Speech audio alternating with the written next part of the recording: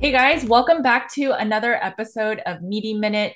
Today we're going to talk about reintroductions. I think it's a big topic that we in our Nutrition with Judy practice talks about. I know a lot of carnivores are like, why would you add anything back when meat is the most nutrient dense? But this is real life. Our practice, people want to add things back. So I think the first thing we recommend is first of all, we have the Carnivore Cure's all meat elimination diet. We have a free cheat sheet guide. So I'll put that in the show notes make sure to check that out. It tells you how to do each phase of the protocol to see what you can eliminate and then what you add back. And I think our first step is before you add back any carbs, ideally, it's always to add back as you heal meats that you were not able to tolerate at one point. So, as an example, we have so many clients that cannot tolerate ground beef.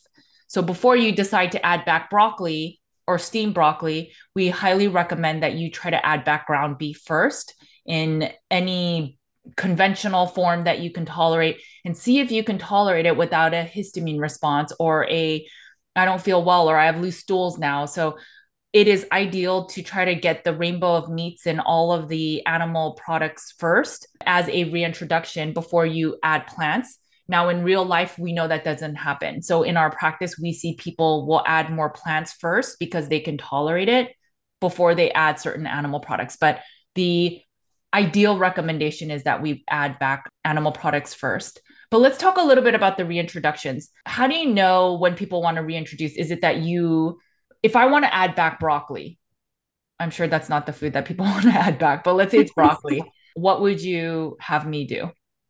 I actually have more clients that don't want to add things back in, but after some time, I'm like, well, why don't we start? Why don't we start with the next option of set of meats that you did or did not try? So most people are coming to us beef, beef only, or maybe beef and some pork, things like that. So if they're you know, beef only, I say, okay, let's try some other things. Like next on our introduction list would be like egg yolks or organic turkey and things like that. So if they're not having any other meats, I always recommend adding those things in next because ideally we'd be eating a variety of meats in order to get enough nutrients in. So beef alone might not be the most perfect diet. It's still missing a little bit of B vitamins that we can get in pork, or we're still seeing a lot of people who eat beef only um, have a fatty acid need and they might need to increase their salmon and stuff like that. So if they're not touching on any of these other foods, I always say let's, you know, try and get those things in first. Is adding the little bit of steamed broccoli in with it going to be an issue? No, but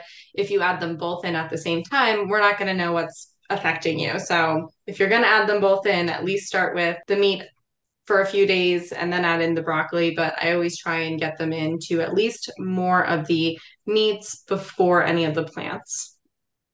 Which is where I think the food and mood journal is so important. This is where, and I could link to our food, I think we have a free food and mood journal, but it's so important to track our symptoms because if if I were to ask you what did you eat two lunches ago it's really hard to remember. We oftentimes think of our symptoms based on a general oh i i know i don't really do well with pork but how do you really know unless you've tracked it? Maybe it's because every time you use uh, you try pork it doesn't make you feel good. But if you were to do a symptom tracker or a food and mood journal and you say you ate this. How did your gut feel? If you took supplements with it or like hydrochloric acid or digestive enzymes how did you feel and then if you track everything, a week later, you could look back and say, okay, I had a good week or a good day of no digestive issues. And then you could look back at what you ate. And then that may be your new baseline of what you need to eat to get back to that non symptomatic day of digestive function. And that's how you can start troubleshooting and make it individualized care in terms of what works and what doesn't, especially when you have a reintroduction. So let's say you try to reintroduce the broccoli and you don't feel well, then go back to whatever foods makes you feel well and have that consistent digestive function before you add something back. Yeah, I think you guys touched on some important things so far when you said that it's very important to do it one at a time. I think too, like um, where you said, like, I know pork doesn't make me feel well, but it's like, are you also always eating it with eggs? And you mm-hmm. just feel like giving up pork feels more realistic, you know, because these are both foods that can be really insidious. I think it's hard for people to wrap their brain around in the beginning the most baseline is meat salt and water. It, it really is. Bringing in the higher histamine foods and and it also might be because we do you know there's a reason people come to work with us and it's usually not that it worked right away for them that they need some guidance they need some support and that's where we can come in and really help them figure it out. And i think that it's confusing a lot of times for people that aren't diving down and really looking at the nuances of a diet and it's like histamines what, what do you mean i'm, I'm eating I'm, I'm on a carnivore diet there's actually a lot of foods that still are high in histamine on a carnivore diet. And that can be really insidious for some people. Not everybody's gut can handle that in the beginning. And also, we're working with a subset that oftentimes does have CIRS, right? There's other underlying things going on. And if you can't even introduce like a bite of a histamine food without a reaction after you've removed it for, let's say, six weeks, there's probably something else going on. But if you just need to take out histamines for a couple weeks just to quell the inflammation in your body, and then you realize, hey, you know what? When I have a little bit of ground lamb now, I, I seem to be okay. You might just need to quiet the noise for a short period.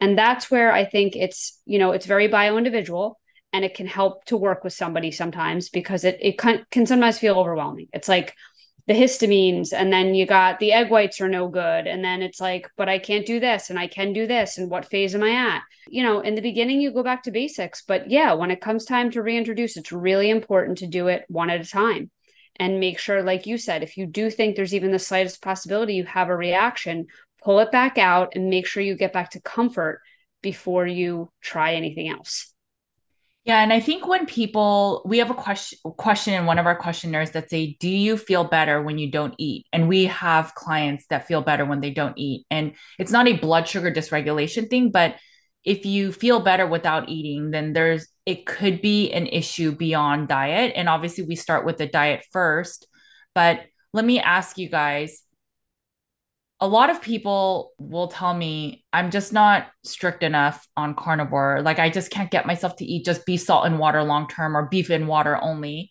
And that's why I'm not healing. Do you guys think that's the answer for most people? That can be a loaded question because because does that mean that they're doing beef, salt, and water and eggs? or does that mean they're doing beef salt and water and you know work tends to be a struggle? I see that a lot on paperwork actually that work is a struggle. Like what do you mean f- work? Like the, the, the food is everywhere. The food is everywhere at work. Oh. And they're they eating just, their work? they maybe that too. That would be mm. that would be a stomach ache too. They just they at work it tends to be a place where they give into it. They're busy. It's available. It's accessible. It's social. So it's like what what is it that's keeping you from what you're considering to be not carnivore hard enough? Because different clients right. consider that very different right? Like i'm not carnivoring hard enough because i have cheese once in a while or i'm not carnivoring hard enough because we do taco tuesday and we also do friday night pizza. And you know it's like whoa those are two totally different things we right, need to right. talk about and address. I do think that yeah a lot of people feel like they're failing at it already Okay, so let me ask it this way then. I know that our very first phase of the the strictest phase of carnivore cure's elimination diet is uh, ruminant meat, salt, and water only. Do you think that everyone needs to get there, or when people are there, why do we put them there? This is a quiz of our job. no, I would say if going all in at first seems intimidating, then why don't you just eat within the carnivore food pyramids, like at least stick meat based, yep. um, getting in enough nutrients and see how you feel. If you are not moving the needle, then I would say the fastest way to see what is driving your symptoms is to go meat based or to go um, beef only. If you can't heal by just doing the you know meat pyramid or a meat based diet. If you're still affected, then the easiest thing to do is say, okay, let me do beef salt water and start slowly adding things back in. I'm not saying you have to stay there, but if you don't feel well, the easiest thing to do is start from the ground and build your way up. I agree with that 200%. A lot of our clients, it feels overwhelming to go beef, salt, and water unless they come to us already feeling that lousy. They're more open and and that's a realistic thought i think anybody listening to this podcast is going to be able to relate to that the worse you feel the more you're willing to do whatever anybody says right? Like it's almost like, tell me what to do. I'll stand on my head all day and, you know, I'll do anything you tell me to do. That's how lousy I feel. But then we also get people that are like, I don't feel well. These are my health goals. You know, how, how are we going to tackle this? And I think, you know, Caitlin said it perfect eat within the pyramid and let's start there, right? But if we're working together for already a few weeks and you're not seeing the needle move at all, it might be time to remove some of the things that can still be really insidious for some people that have gut dysfunction and sleep problems. And you know we have to we have to remove the things that can still be insulting the gut and still be insulting all different autoimmune conditions. And you know it's not always as simple as just eat within the meat pyramid and you can heal so the way that I created the carnivore cure's elimination protocol is I looked at all different elimination protocols. Then I looked at all the different anti-nutrients and I just took lots and lots of effort into the research of what is the safest foods to first have. And so even within the animal-based world, we considered histamines, we considered some animals will have some level of anti-nutrients because of the plants they consume and it may still be in their system. It's a decision that everybody needs to make individually. Like my mom never suffered really from other things other than her high blood sugar and cholesterol. So for her, it didn't really make sense to have to go beef only. So she went animal based or all the um, the rainbow of meat, and it helped her blood sugar go down enough. Now, if it didn't go down enough, I would probably have her like, well, why don't you have two meals instead of three, and see if that would help reduce the insulin and the blood sugar. And if yeah. that didn't work, then we might say, okay, let's remove some of the dairy because the dairy has a little bit of carbs. But that would be my progression for her. But if somebody is super sick, it's like the decision of do you want to do animal based and then see okay it's still not working and then we slowly titrate down and remove everything? Or do you want to just rip off the band-aid and go just beef or just ruminants so that there's not many different varieties that you're eating so that if it's you're just eating beef salt and water and you're still reacting then maybe it's not beef that you're ideally tolerating. And so maybe we just eat lamb. And then if lamb helps to reduce your symptomologies then at least then we can find a new baseline of your symptoms and health overall. And then we can see okay what else can we add back in? Because i don't think ruminant meat only is ideal long term because you can argue the omegas and i know people are going to totally argue against me with that thought but just from a i cannot as a nutritional therapist say you can just eat ruminant meats when there are certain like magnesium is very low um, thiamine is very low omega 3s are very low in certain meats now, maybe we don't need the amount that the RDA recommends, but as a nutritional therapist, I cannot, with a good conscience, say just eat beef long term. I think people can do it, but is there a risk? And I just think it's smarter to eat the rainbow of meats with all the different nutrition. I think that's at the core of if you need to eat ruminant meat only or not. At a certain point, like, so let's say you started with all the rainbow of meats, and if that's not working enough, and then you went ruminant, and if ruminant didn't work enough, I'd say like two, three months. Would you guys say that's a sufficient amount of time to know that? Yeah. And then beyond that, if it's not working, then yes, we got to look beyond the diet. I think that's sort of our, you know, mode of operation in our practice because you have to think at two, three months of eating just beef or just lamb and you're not healing, then there's got to be something else. And it's not because you didn't get the aged one or you got the aged one or the, the salt wasn't the right salt or that it is because you're adding too much salt. I know we one of my clients said this really perfectly but when you're really sick and someone said they healed because of x you really want to or hope that maybe that x is my thing too and that will help me heal. And so you grasp for straws and it's like maybe it's the x maybe it's the y maybe it's z and maybe that will help me heal too.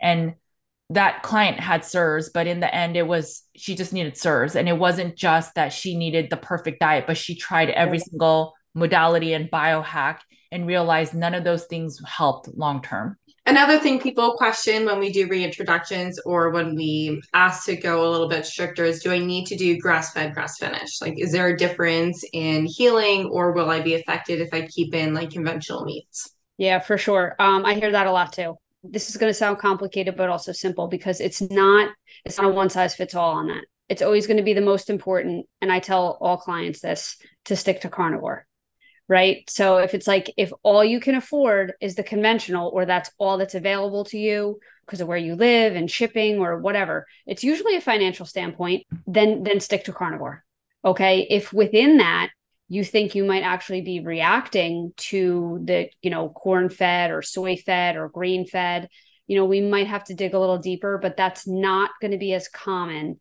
as the food reaction to like, you're most likely going to tolerate conventional ribeye possibly better, especially in the beginning, than you might grass fed and finished ground beef. It's not a one size fits all but you have to talk it through with the client. We have to we have to figure out the bio individual needs but i would say the most important thing is to stick to carnivore and and tailor it from there. Most people probably want to reintroduce things. There's things that they miss they miss variety. It's not that the diet's not working but they just miss other options is what i'm hearing from a lot of people. If we get any people just starting out, they're like, this is so easy. I could do this forever. Like, I don't have to think or prep. Um, I don't have to worry anymore. And some people really like that. So I am in that camp where it is just easier for me not to chop vegetables. So I it's just easier. Um, some people just miss the variety, I think, and that's where they start to want that reintroduction. Yeah, that's that's what I see for the most part too. I see people with the end goal to be to reintroduce. You know, that doesn't mean session one everybody's saying to me, "What day do I get to eat such and such?" Though I have that. I do have that also. Um, I feel like the end goal, though, usually is to reintroduce. And I, what I feel viscerally from people is the social aspect of it. Yes, is it a taste bud thing? Maybe at times too, but it's the social aspect of it.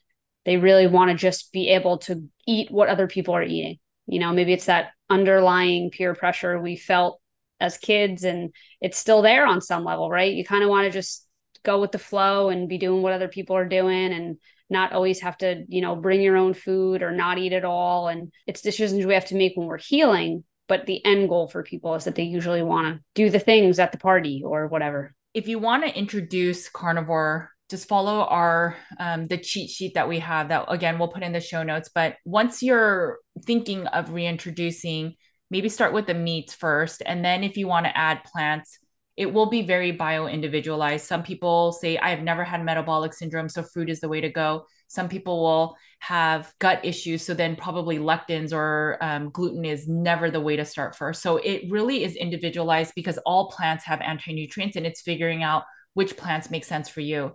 I think personally, for me, I want our community to have food freedom where I suffered from an eating disorder for such a long time. And I want us to be able to go to a restaurant and I know seed oils aren't that good, but I would rather us go to a restaurant, eat the meat there. If you want to eat a little bit of sides just to be social, and then you just move on and then you go back to right. your regular carnivore meals because that's how I do it now. Before I used to carry my butter to the restaurant and I would not eat anything else. If anything was cooked in anything, if there was a little bit of pepper, I wouldn't eat it. And it was very hard on our social lives. But as I have food freedom and just health in general, I can go to a restaurant, I don't even ask what they cook it in. And I'm sure some people are going to be shocked at that. But, and then I just eat the meat. And if once in a while there's like Kevin's eating a little vegetables, maybe I'll have a bite, but that's it. And then at home, I pretty much eat just carnivore. And, but it took years to get here. There's no more stigma with food. If you have that strong enough pull with sugar and being a person that was severely eating disordered, I would argue that that pull if you have one small bite of a donut and now you're off and you're triggered and you're dopamine and now you need to go and rush and go binge then i would challenge that maybe you're not fully healed that maybe you still need to figure out you know what is it that's triggering you that much or what is it that has that lure towards sugar is addictive in its nature but let's say fruit.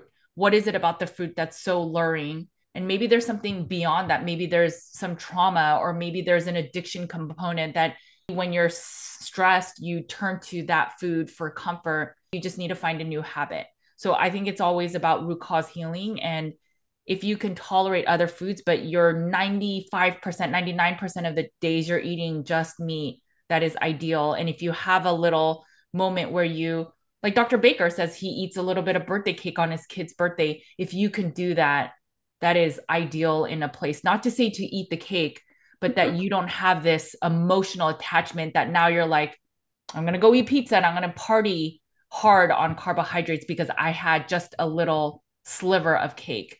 And if that's what happens to you, especially a few years into carnivore, I think there's more healing that needs to be done, especially on a therapy side. If you guys have any thoughts, put it in the comments. And if you have other topics that you want us to cover in a future meaty minute, just let us know. But otherwise, we will talk to you guys later. Bye, guys. Bye, guys.